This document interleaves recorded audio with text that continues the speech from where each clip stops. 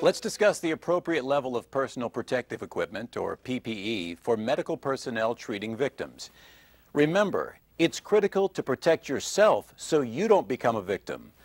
Although official protocols may differ from state to state, there are federal guidelines that must be followed when an employee works in a contaminated environment. Depending on the hazard, PPE may include dermal protective ensembles and respiratory protection devices.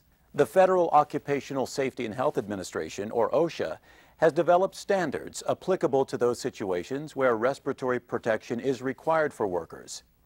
Standards are described in Title 29 of the Code of Federal Regulations, Parts 1910-120 and 1910-134.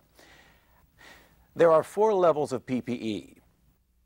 A, B, C, and D.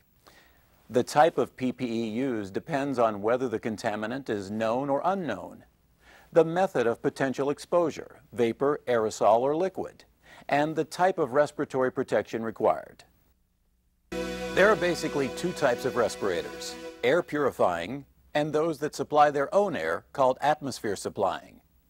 Air purifying respirators pass the ambient or outside air through a filter element or canister to remove gaseous or particulate contaminants from the outside air. Airflow across the filter may be generated by negative flow or inhalation, or through positive pressure from a blower from a powered air purifying device.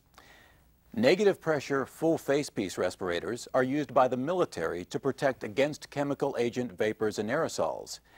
Air is pulled across the gas particulate canister during inhalation. Atmosphere supplying respirators provide air to the wearer independent of the outside toxic atmosphere.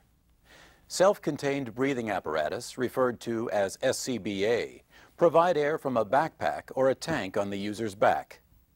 Some medical facilities use a common source of uncontaminated air to supply several respirators at once. Atmosphere supplying respirators are used in levels A and B PPE.